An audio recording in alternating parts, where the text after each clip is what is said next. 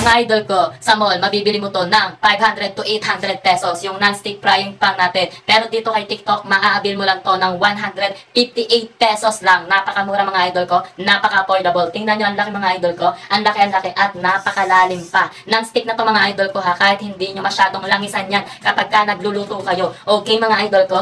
Ang ganda mga idol, ang laki mga idol oh for only 158 pesos lang. Nasa kalahating milyon na yung totally sold mga idol ko ng pangmalakasan nating non-stick frying pan mga idol ko ha. So ayan, okay, ang ganda mga idol ko. Ang kintab, ang kapal.